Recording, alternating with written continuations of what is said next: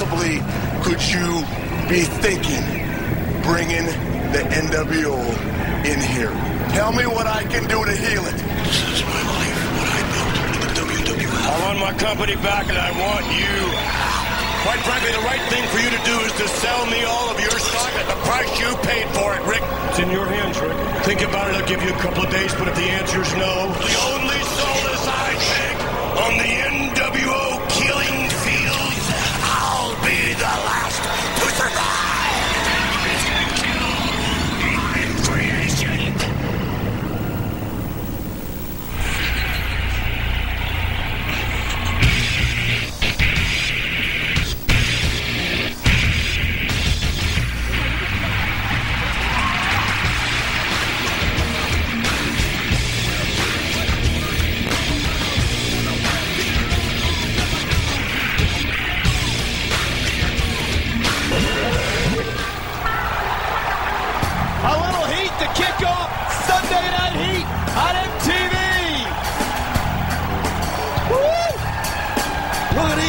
broads.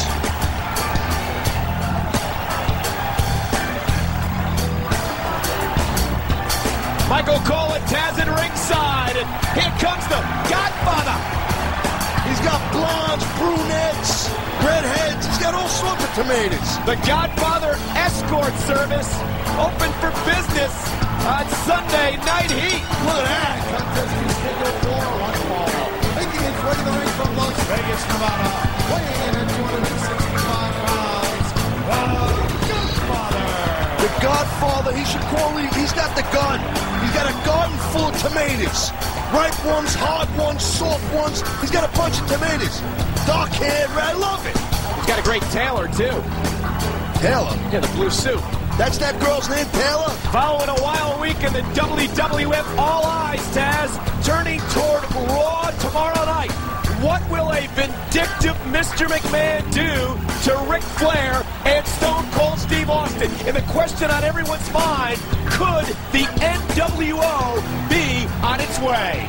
Tomorrow night might be the night for the NWO to raise its ugly head and possibly run roughshod for the World Wrestling Federation. But nothing ugly about the heads in the ring right now. The Godfather set for action. Yeah, the Godfather is a good-looking guy. That's what you're talking about, right? You stop.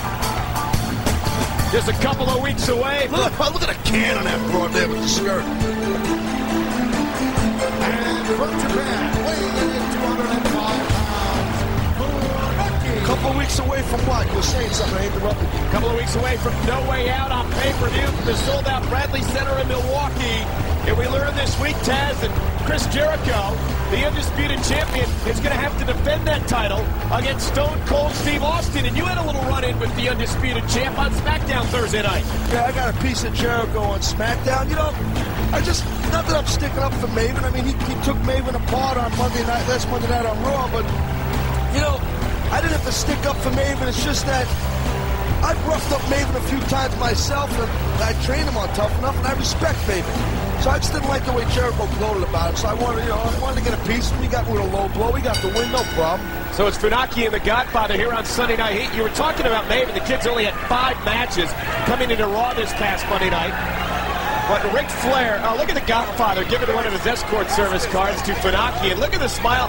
Oh that's not good. See, Godfather's is trying to be a business man, business like a sandwich, and uh, you know, Funaki, I guess he's not into those kind of hot-looking ladies. A big knockdown by the Godfather.